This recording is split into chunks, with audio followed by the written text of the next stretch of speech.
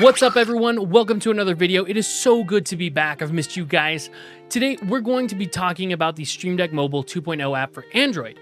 I'm going to show you how to get it set up as well as some cool things that can only be done on your phone in the Android version. So let's get into it. Now, if you were like me, you used the original Stream Deck mobile app for Android and thought it was pretty cool. Or maybe you hated it. A lot of people seem to have problems getting it connected to their computer. I never really seem to have that problem, but admittedly, I have pretty good internet. However, when I saw that the iOS version was updated with a lifetime license, as well as having 6 keys for free, or up to 128 keys on a tablet, more on that in a little bit, I immediately went to update. However, I live in Green Bubble Land, so I didn't get that update and it didn't really make a lot of sense for a while and it kind of hurt. But it turns out that they had to rewrite the code from the ground up to make the Android version, which is why it took so long. So, in my mind, knowing the amount of work that kind of stuff takes, I am so grateful that they put in that work to bring these amazing features to us. But without further ado, let's get started. So, first things first is you're going to download the app. And to download the app, you're going to go to the Google Play Store. You're going to search for Stream Deck or Elgato Stream Deck Mobile. Either of those options work just fine. And then you will come over here and you will click the install button. Or if you want to install it on multiple devices, you can see the list of devices that you have here. And that's super cool. Uh, I'm just going to do it on this device though, because that's what I want. Now, if you had tried the app before and had a negative experience with it in the past, it's possible that you gave the app a pretty low rating. If you are one of the people that did give the app a poor review, after you see how awesome this new app is, please take some time to update your review of the app. I know Elgato was trying really hard to get that App Store rating up, and so I know they would appreciate it. But that being said, what we're going to do now is we are going to open the app, and you will be met with this screen. Now there are two buttons on the screen, as you can tell. One says send link, the other says continue. If you have not downloaded the Stream Deck software to your computer yet, you will click send link. That will send you a link to download the software. If you already have it downloaded, you can just click continue and bibbity bobbity boo, uh, you're good to go. Now, what we want to do is we after you've downloaded the software, we need to sync the computer. To sync the computer, what you're going to do is you're going to tap on this button here that says add computer and you will allow Stream Deck to take pictures while using the app and you'll set your device off to the side. You will go into the Stream Deck software and up here you will click the little drop down button. If you already have Stream Decks, you, you'll be familiar with this. If this is your first Stream Deck, you'll still click the little button and click add mobile device. And then you'll see a QR code right here.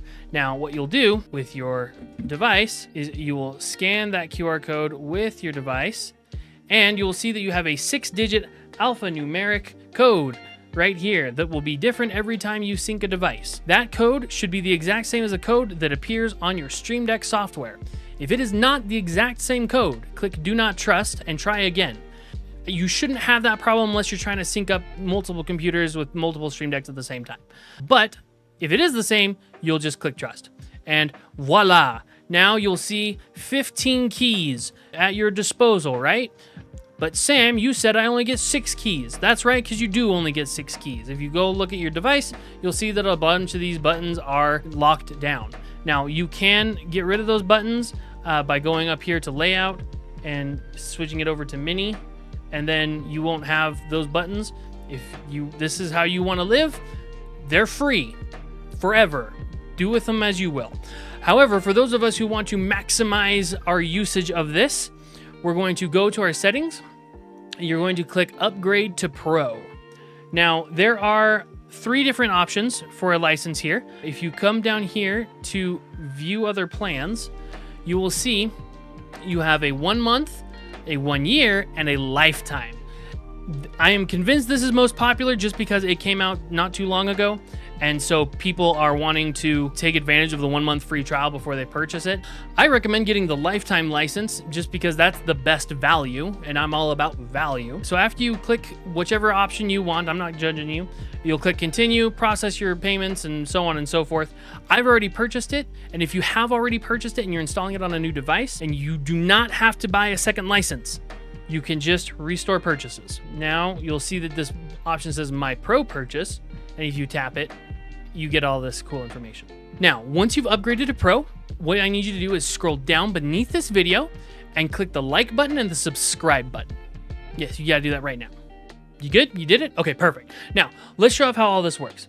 You have your Stream Deck options, okay? If you click the cog in the bottom right, you'll see layout, orientation, appearance, and faceplate. If you click on layout, you can choose from four different layouts. The mini layout, which will give you a Stream Deck Mini 3x2, that's what we're that's what I just showed you. A classic, which is basically your Stream Deck Mark II, your Stream Deck Classic, it's 15 keys. The Stream Deck XL, which is 32 keys, which is friggin' amazing. For context, a Stream Deck XL costs $250. A lifetime license costs 50. So I'll let you do the math eh, no matter which way you slice it. That's a that's a bargain. But then you also get custom. Now with custom what you get is you get to choose how big you want your device. So 8 by 8 or you can even go down to a 1 by 8 and basically what that looks like is now you have a, a bar I'm gonna make another video on something cool that you can do with this, but for now, this is freaking sweet.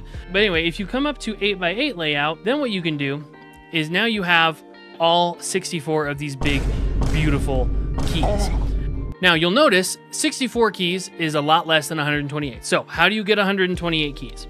What you can do is you can tap the cog in the bottom right, scroll down, and you'll see an option that says split screen. If you tap split screen, you'll be met with now another dock. You've basically entered multitasking mode. This is available on iPads as well, but not on iPhones. But on Android phones, ah, we'll talk about that here in a second. Stay tuned. So what we're gonna do is we're gonna add another virtual device. So what you'll do is you'll tap add virtual device. You'll give it a name. We'll name this one Stanley. Perfect. And then what we'll do is we'll tap layout, custom 8x8, go back. Uh, we'll talk about the other options here in just a second but then you'll click connect, and now you'll see, ooh, now we have two 64 key Stream Decks for a total of 128 keys. Bonkers, absolutely bonkers. Now, you'll notice that the Stream Deck on your device and the Stream Deck in the software have different orientations. How do you fix that? Because that's annoying. What you'll do is you'll go to the cog on each Stream Deck you'll go to orientation and switch it from dynamic to fixed. Okay, go back, cog, dynamic, fixed.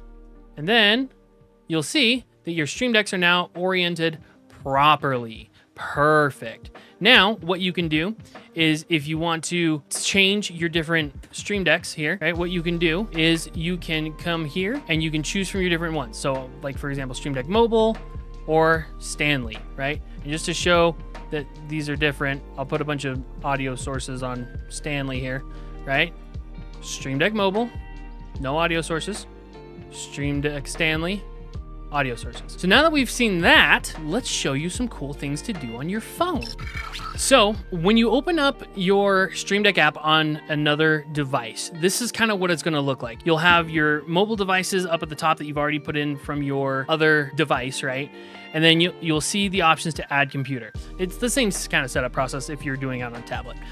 But what you'll do is now you can choose your Stream Decks from, from the other device, right? And you'll see that I can change it to custom 8x8. I wouldn't recommend this for a phone.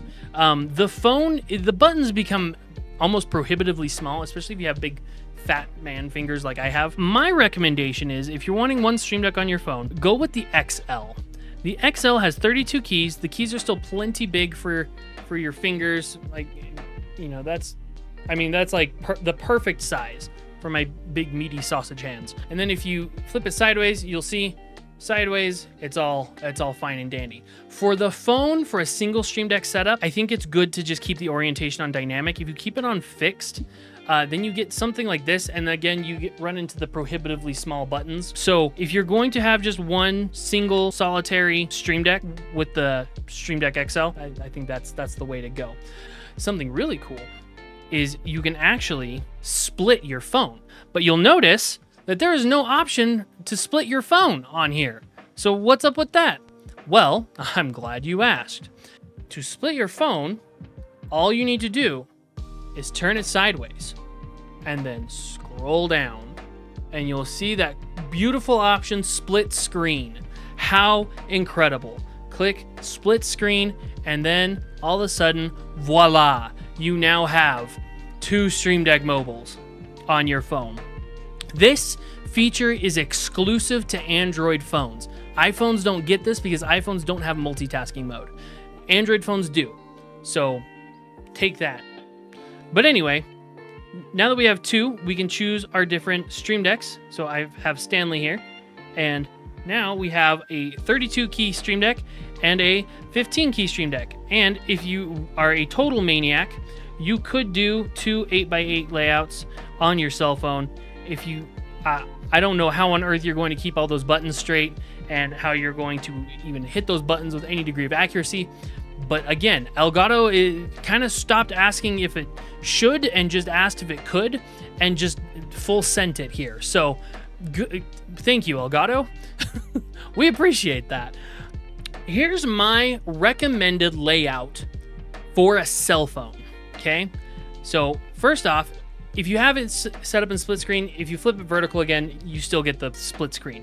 Now, if you take your phone and you kind of resize the windows, you'll notice that now it basically puts the top one into horizontal mode and the bottom one into vertical mode. So here is my recommended layout for you. I would recommend on top a Stream Deck Classic. 15 keys for inconsequential things. Soundboard, um, you know, streamer bot actions, what what light colors in the background, what have you. And then on the bottom, I would suggest a Stream Deck XL, right? You, the buttons are a little smaller than normal. If you find that they're too small, you can switch down to a Stream Deck Classic, which provides bigger buttons. And frankly, it kind of looks a little cooler too, if you ask me. And that way, you get to have all those buttons. You get 30 buttons now in a nice, sleek form factor uh, that you can just sit by your desk, sit by your keyboard, have it right at hand's reach. And it's, guys, I mean, Elgato knocked it out of the park with this app. This is hands down the greatest app I've ever had on my phone. I, I cannot ex- I cannot express that enough. Now, it's important to note with this layout, both options, both decks are going to be left in dynamic mode because again, it registers this smaller window in landscape mode. So basically, if I put this now into landscape mode, you'll see they're both sideways, it straightens it out. But if I then shrink this one down, if I try, it doesn't let me. It just ends up closing it. Now, if you do end up closing it, guess what? You can do this, split screen, and then tap the other one, bibbity bobbity boo. You have your buttons back. And again, vertical, shrink it, easy. So easy. So, so freaking easy. And guys, there's so much that you can do with your smartphones nowadays that you couldn't do before to level up your streams. One example is this video here wherever it's going to be, uh, that talks about how you can use your Android phone as a portable webcam for your live stream. So click it here to check it out, and I'll see you there.